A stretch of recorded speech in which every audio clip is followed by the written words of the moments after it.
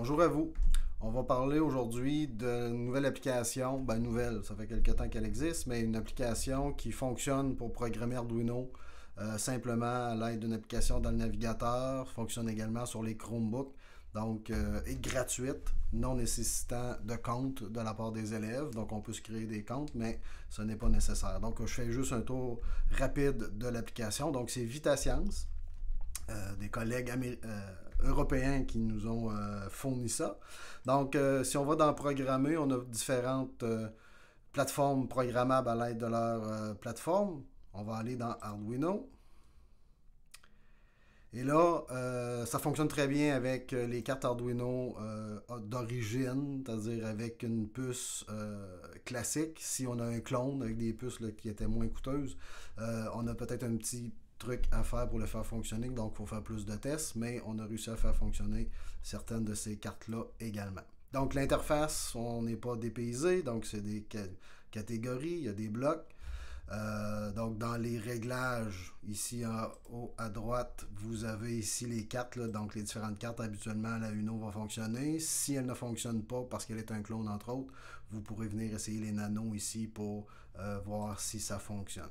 Donc une fois qu'on a une carte de brancher dans le port USB de notre portable ou Chromebook, on pourrait essayer tout simplement de faire un petit euh, un petit programme, donc je vais y aller là tout simplement, on va dire d'attendre une seconde, donc je fais juste le programme de base. Donc on a vu ici à droite, comme habituellement, on va avoir le texte euh, Arduino qui va apparaître, donc la programmation texte. Vous avez en bas ici une genre de console, donc vous allez pouvoir travailler là-dessus. Vous avez en bas à gauche euh, un autre euh, engrenage, donc d'autres catégories. Peut-être ici le nombre de valeurs. Je vais vous montrer un programme tout à l'heure pour mesurer l'éclipse, mais Ici, donc, ça se pourrait que 100, ça ne soit pas suffisant pour les valeurs qu'on va aller chercher avec Arduino. Donc, ça ici, enregistré. Donc, si j'enregistre ce programme-là, je peux le télécharger sur mon ordinateur. Euh, on peut, si on a un compte, donc on peut se créer un compte là-dessus, mais euh, je vous suggère de travailler avec les fichiers tout simplement, donc ça fonctionne très bien. On garde le texte et les blocs, donc ça c'est une très belle chose euh, pour l'application.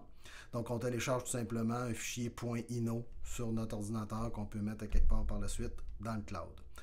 Euh, donc, on envoie ça téléversé. Donc, il s'agit juste d'aller chercher le port série euh, de communication de votre ordinateur qui parle à la carte.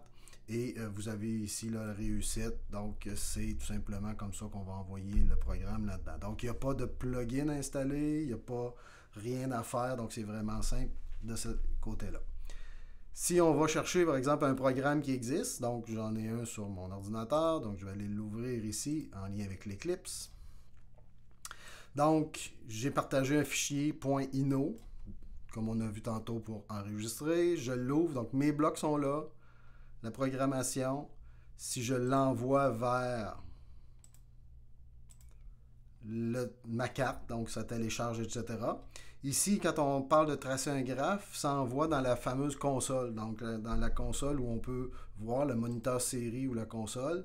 Donc, on vient se brancher sur la console du port de communication et là, j'aurai des données qui vont entrer ici, la lumière, la luminosité et la température, etc. Donc, vous avez accès encore à la saisie de données en lien avec cette application-là. Donc, VitaScience, programmation très semblable à ce qu'on a fait avant avec Arduino. Euh, fonctionne. Donc déjà, on est, fonctionne avec Chromebook dans le navigateur, sans installation, sans compte. Euh, parle relativement bien euh, aux différentes cartes. Peut-être le désavantage à dire là-dessus, c'est que, par exemple, dans les capteurs, ben, si le capteur n'est pas dans la liste, on ne peut pas travailler avec. Donc, il faut à ce moment-là l'éditer en mode texte et là, on perd la fonction des blocs. Donc, on peut programmer en texte là-dedans. Donc, par exemple, ajouter un BMP 180. Bon, on peut trouver du code texte sur le web pour comment on l'utilise, euh, parce qu'il n'est pas dans cette liste-là ici de VitaScience. Donc, on peut trouver la programmation pour faire fonctionner un BMP 180, mais à ce moment-là, donc je perds les blocs. Donc, oui, ça va fonctionner, on va pouvoir envoyer notre programme pareil, mais euh, donc c'est peut-être la faiblesse, c'est-à-dire que si le capteur n'est pas dans ces blocs-là, on peut faire une demande à VitaScience de l'ajouter, mais à ce moment-là, c'est une démarche de plus. Donc, quand même, il y a quand même pas mal de capteurs, ce qui fait qu'on a euh, un outil qui peut faciliter la programmation Arduino. Donc, bon Arduino.